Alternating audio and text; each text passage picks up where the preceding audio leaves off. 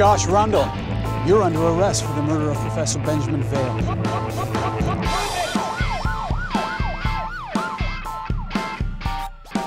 The system has failed me.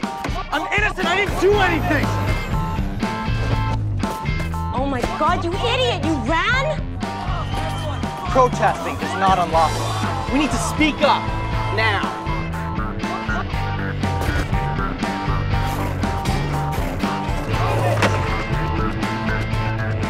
We will bring Rundell in.